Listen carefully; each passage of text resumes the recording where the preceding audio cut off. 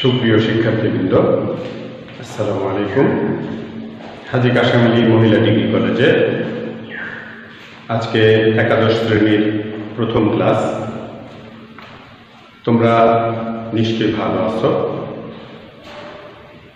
আজকে করোনা মহামারীর কারণে আমরা ক্লাসে উপস্থিত হয়ে ক্লাস গ্রহণ করতে পারছি না। সে কারণেই শিক্ষা মন্ত্রণালয়ের নির্দেশনা অনুযায়ী আমরা অনলাইনের মাধ্যমে আমাদের ক্লাস শুরু করতে যাচ্ছি। একাদশ শ্রেণির নবগত শিক্ষার্থীবৃন্দ, ইসলাম শিক্ষা বিভাগের পক্ষ থেকে আমি মুহিবুল্লাহ সবাইকে শুভেচ্ছা জানাচ্ছি। আমাদের ক্লাসে সবাইকে স্বাগত। আজকে আমরা যে বিষয়টা আলোচনা করব, সেটা হলো ইসলাম শিক্ষা পরিচয়। ইসলাম শিক্ষার উদ্দেশ্য।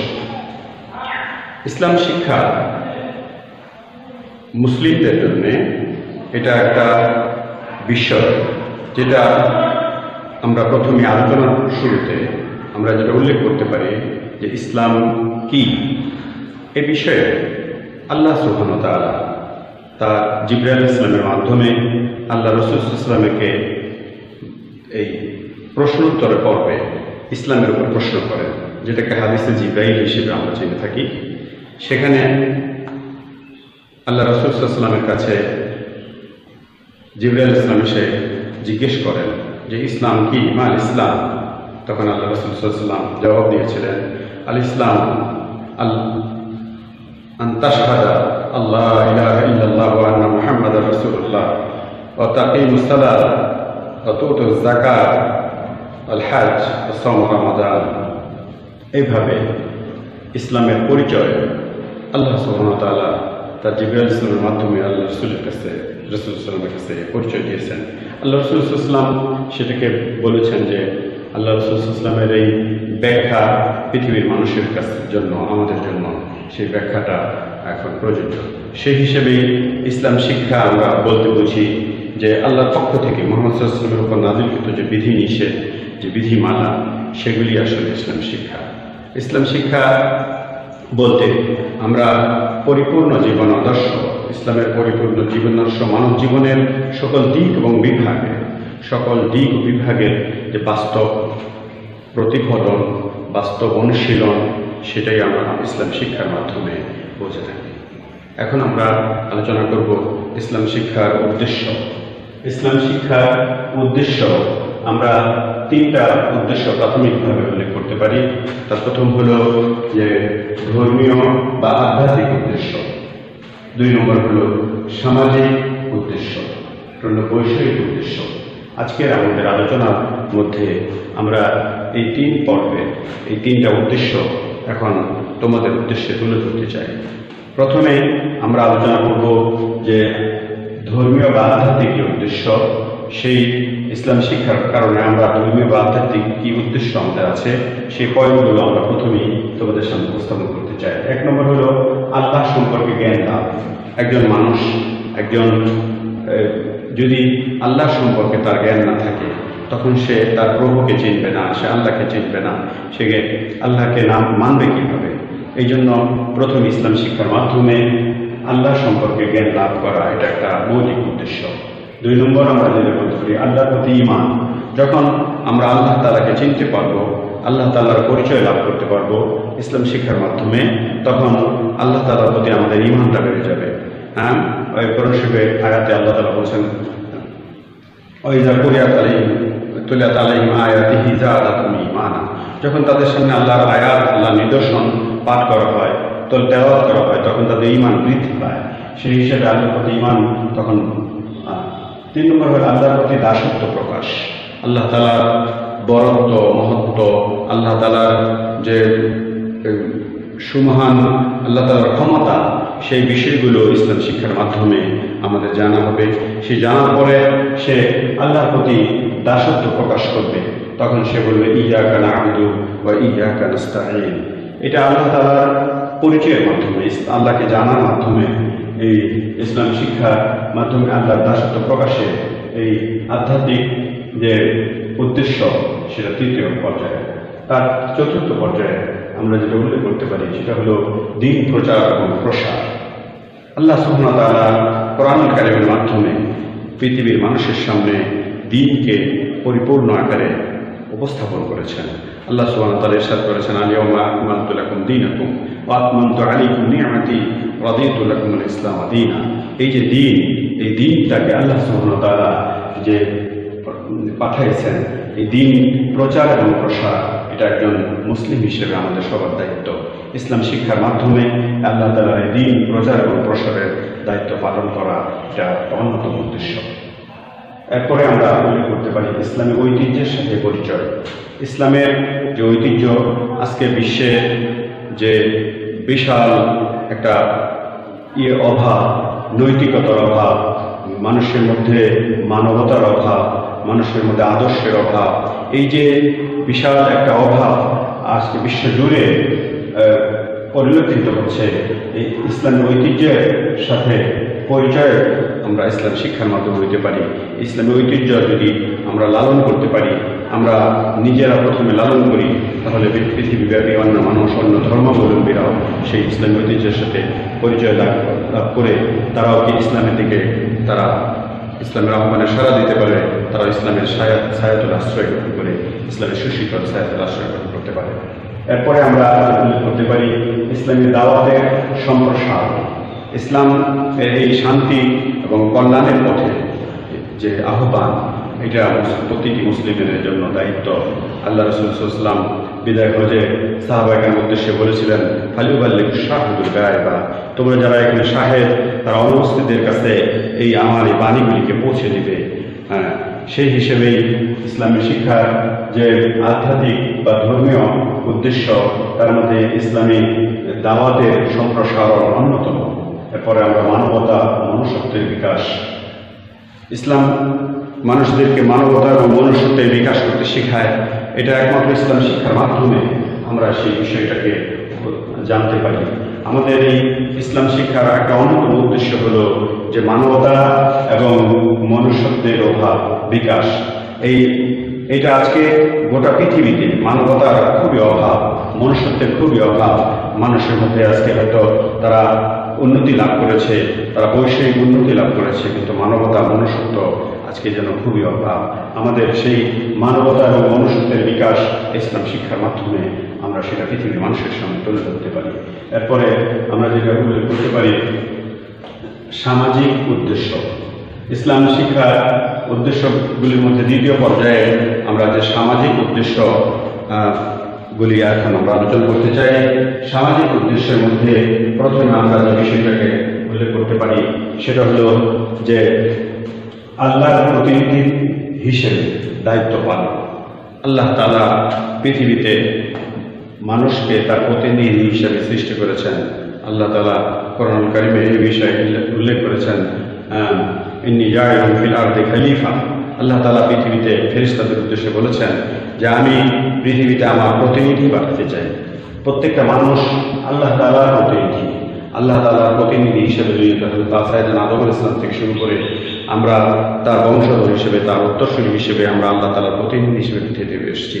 আমাদের কাজ হলো আল্লাহ তালার হুকুমগুলিকে, আল্লাহ তালার বিধানগুলিকে মানুষের সামনে উপস্থাপন করে দেওয়া। মানুষ হিসেবে আল্লাহ তালার নিয়ম, কানুন, বিধি, বিধান, আল্লাহ তালার যে সুন্দর দিক এবং আদর্শ পৃথিবীর মানুষের সামনে উপস্থাপন করেছেন, আল্লাহ তালা প্রতিনিধি হিসেবে আমাদের সেই যে দায়িত্ব আছে, এই দায়িত্বগুলি পালন করা অন্যতম একটা উদ্দেশ্য। যেটা আমাদের সামাজিক উদ্দেশ্যের মধ্যে প্রথম।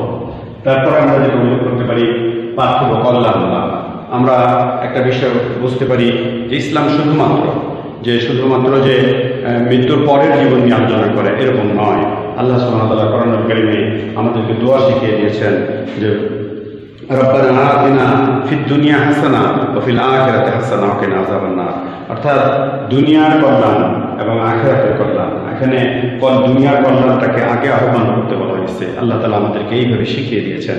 সেই হিসেবে পার্থিব কল্যাণ যে লাভ হয় পৃথিবী এই ইসলাম শিক্ষার মাধ্যমে আমরা সেই সেটা আমাদের অন্যতম উদ্দেশ্য।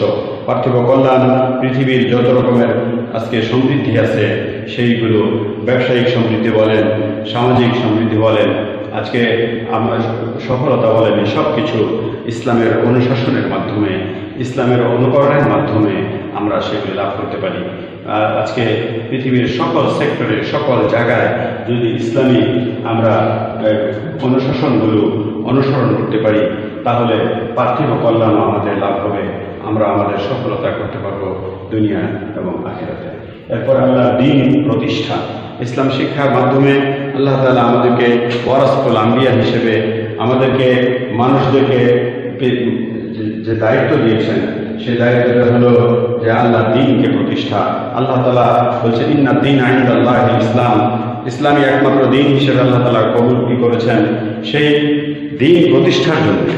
দিন প্রতিষ্ঠা অন্যতম কাজ হলো একজন মানুষের এবং সেই দিন প্রতিষ্ঠা সামাজিক উদ্দেশ্যগুলির মধ্যে ইসলাম শিক্ষার একটা অন্যতম উদ্দেশ্য হল আল্লাহর দিনকে আল্লাহর জমিন প্রতিষ্ঠা করা। এরপরে যে পয়েন্ট আমরা উল্লেখ করতে পারি, সেটা হলো হালাল উপার্জন এবং হারাম বর্জন। আল্লাহ রসুল হাসান বলেছেন, মান কাল ইলাহা ইল্লাল্লাহ, হাল্লালা হালালাহু হারামা হারামাহু আদখালাল্লাহ আদখালাহু দাউ দাক জান্নাহ, আও কামা কাল আলাইহি সাল্লাতু ওয়াসসালাম। যে লোকটা বলল, লা ইলাহা ইল্লাল্লাহ এবং হালালকে হারাম, হালাল জানলো, হারামকে বর্জন করল, হারাম জানলো, এই লোকটা জান্নাতে আল্লাহ তাআলা তাকে প্রবেশ করে দিবেন। সেই হালাল এবং হালাল উপার্জন এবং হারাম বর্জন, এটা একটা অন্যতম আমাদেরকে এই বিষয়টাকে খেয়াল করতে হবে। আল্লাহ রসুলাম বলেছেন যে মানুষের উপরে বাদাল ফাজিল কাসবুল হালাল ফরিদ, বাদাল ফরিদা। হালাল উপার্জন করা অন্যান্য আল্লাহর ফরজ ইবাদতগুলির পরে অন্যতম একটা ফরজ। সেই এরপরে আমরা উল্লেখ করতে পারি ইনসাফ প্রতিষ্ঠা। পৃথিবীতে আজকে যেটা গোটা বিশ্বব্যাপী যেটা চরম অভাব আজকে ইনসাফের অনুপস্থিতি, আজকে দেশে দেশে, জাতিতে জাতিতে হানাহানি, মারামারি, কাটাকাটি, সেটা একমাত্র ইনসাফের অভাবে। ইনসাফ না থাকার কারণে আজকে আদর এবং ইনসাফের অনুপস্থিতির কারণেই আজকে আজকে জাতিগত বৈষম্য, আজকে মানুষের মানুষের হিংসা, হানাহানি, মারামারি, কাটাকাটি। কাজেই ইসলাম শিক্ষার মাধ্যমে আমরা সামাজিক যে মূল উদ্দেশ্যগুলির মধ্যে ইনসাফ প্রতিষ্ঠা একটা অন্যতম উদ্দেশ্য। আমরা ইনসাফ প্রতিষ্ঠা আজকে এই দিকটা আমরা গুরুত্বের সাথে বিবেচনা করতে পারি। প্রিয় শিক্ষার্থীরা, আমরা তৃতীয় পর্যায়ে ইসলাম শিক্ষার উদ্দেশ্য পর্যায়ে বৈষয়িক যে উদ্দেশ্য, সেই বৈষয়িক উদ্দেশ্য নিয়ে এখন আমরা সংক্ষিপ্ত কিছু আলোচনা করতে চাই। আজকে বৈষয়িক উদ্দেশ্যের মধ্যে প্রথমে আমরা যে বিষয়টা উল্লেখ করতে পারি সেটা হলো আত্মকর্মসংস্থান। ইসলাম শিক্ষা শুধুমাত্র মানুষদেরকে পঙ্গু বানায় দেয় না পরনির্ভরশীল করে না। ইসলাম শিক্ষার মাধ্যমে সে আত্মকর্ম আত্মনির্ভরশীল হতে শিখায়। সে তাকে আহ, নিজে নিজে উপার্জন করে নিজের পায়ে নিজে দাঁড়াতে শেখায়। আমরা সাহাবেক মাজমিনের জীবন যদি দেখি, সেই হজরত আবু বকর সিদ্দিক রাজিউল্লাহ খলিফতুল মুসলিমিন হয়েছেন, কিন্তু তিনি তখনও তিনি এই টুপি সেলাই করে তার জীবিকা নির্বাহ করেছেন।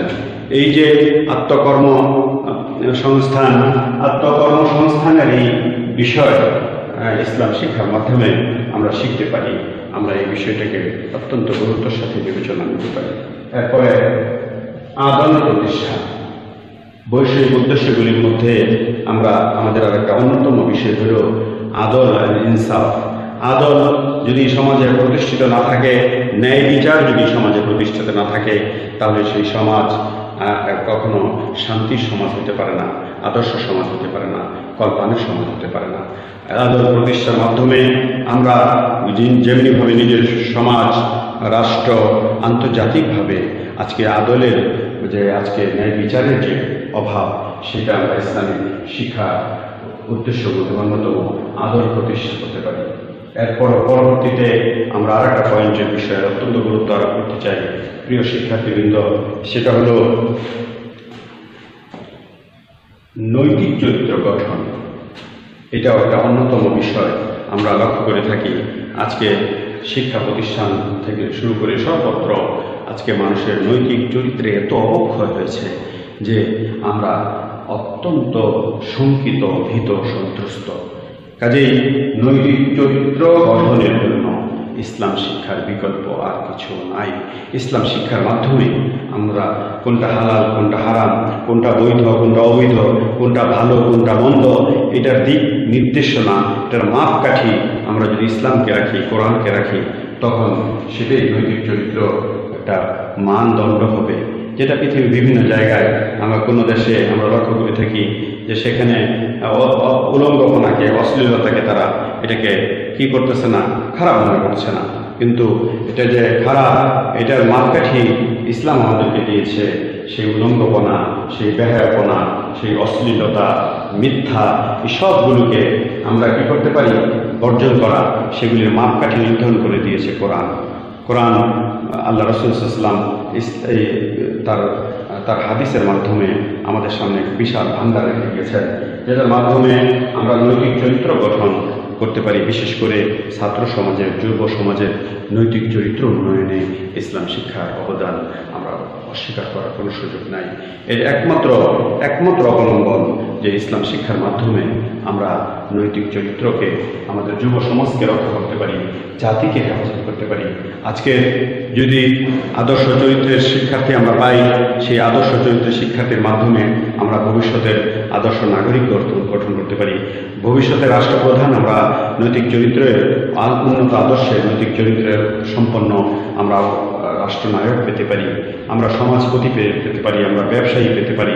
আমরা সমাজের সকল স্তরে নৈতিক চরিত্র সম্পন্ন পরবর্তী বংশধর আমরা উপহার দিতে পারি। এর পরবর্তীতে বৈশ্বিক উদ্দেশ্যে আর একটা অন্যতম হল পার্থিব জীবনকে সুখী এবং সমৃদ্ধ করা। আমরা লক্ষ্য করে থাকি, আমাদের পৃথিবীতে সকল শ্রেণির মানুষ যে যে পেশায়, যে অবস্থায়, যে স্তরেই আছে না কেন, সবাই কি করতে চায়? তারা চায় জীবন সুখী হতে, সমৃদ্ধি লাভ করতে। প্রিয় শিক্ষার্থীবৃন্দ, তোমরা এক কথা ভালো করে জানো যে কোথায় কল্যাণ, কোথায় অকল্যাণ কোথা কোনটা সমৃদ্ধ, কোনটা কোথাতে সমৃদ্ধি কোথাতে অধপতন এটার মাপকাঠি ইসলাম করে দিয়েছে। ইসলামের মাপকাঠি অনুযায়ী, ইসলামের সেই নির্দেশনা অনুযায়ী, সেই সমৃদ্ধি যদি আমরা আমরা যদি পার্থিব জীবনে সেই সমৃদ্ধি যে সমৃদ্ধকরণ, সুখীকরণ, যে সুখী আমরা করতে পারি সেই বিষয়টাকে আমরা অত্যন্ত গুরুত্বের সঙ্গে বিবেচনায় আনতে পারি। প্রিয় শিক্ষার্থীবৃন্দ, আজকে আমাদের যে ক্লাসে যে পয়েন্টগুলো আমরা ইতিমধ্যে আলোচনা করলাম, সেইগুলি আমরা আবারও আরেকবার আমি স্মরণ করতে চাই, সেটা হলো যে আমরা উল্লেখ করলাম, আমরা ইতিমধ্যে আমাদের যে পাঠের মধ্যে সেটা করেছিলাম যে ইসলাম শিক্ষা পরিচয়, আমরা আজকে আলোচনার মাধ্যমে ইসলাম শিক্ষার পরিচয়টা উপস্থাপন করলাম। সেই হিসেবে সে পরে ইসলাম শিক্ষার উদ্দেশ্য, সেখানে তিনটা উদ্দেশ্য আমরা আলোচনা করেছি আজকের আলোচনায়। ধর্মীয় বা আধ্যাত্মিক উদ্দেশ্য উদ্দেশ্য, সামাজিক উদ্দেশ্য বৈষয়িক উদ্দেশ্য। ধর্মীয় বা আধ্যাত্মিক উদ্দেশ্যের মধ্যে আমরা আল্লাহ সম্পর্কে জ্ঞান লাভ, আল্লাহর প্রতি ইমান আল্লাহর প্রতি আল্লাহর দাসত্ব প্রকাশ, দিনের প্রচার ও প্রসার, ইসলামী ঐতিহ্যের সাথে পরিচয় ইসলামের দাওয়াতের সম্প্রসারণ, মানব, মানবতা ও মনুষ্যত্বের বিকাশ। এই সাতটা বিষয় আমরা আজকে আলোচনা করেছি। এরপরে সামাজিক উদ্দেশ্যের মধ্যে আমরা আজকে আলোচনা করেছি আল্লাহ প্রতিনিধি হিসেবে দায়িত্ব পালন, পার্থিব কল্যাণ লাভ আল্লাহ দিন প্রতিষ্ঠা, হালাল উপার্জন এবং হারাম বর্জন, আর পাঁচ নম্বর ইনসাফ প্রতিষ্ঠা। এর পরবর্তীতে আমরা ইসলামী শিক্ষার বৈষয়িক উদ্দেশ্যের মধ্যে আমরা চারটা বিষয়ে আলোচনা করেছি। তার প্রথম হলো আত্মকর্মসংস্থান, আদল প্রতিষ্ঠা, নৈতিক চরিত্র গঠন, পার্থিব জীবনকে সুখী এবং সমৃদ্ধকরণ। এই বিষয়গুলো আমরা সংক্ষিপ্ত আকারে অল্প সময়ের মধ্যে আমরা আলোচনা করলাম। তোমরা এই বিষয়গুলো আমাদের এই আলোচনা যদি সুন্দরভাবে শুনে থাকো, আমি আশা করি তোমরা উপকৃত হবে। আবার আমরা ইনশাল্লাহ আগামী ক্লাসে পরবর্তী চ্যাপ্টারে আমরা ইসলাম শিক্ষা উপরে এই প্রথম পত্রের দ্বিতীয় পর্যায়ে ইসলাম শিক্ষার বৈশিষ্ট্য নিয়ে আমরা আলোচনা করব। সেই ইসলাম শিক্ষার বৈশিষ্ট্য আলোচনার সেই ক্লাসে তোমাদেরকে আমন্ত্রণ জানিয়ে আজকের মতো এখানে শেষ করছি। আল্লাহ হাফেজ। বাংলাদেশ জিন্দাবাদ।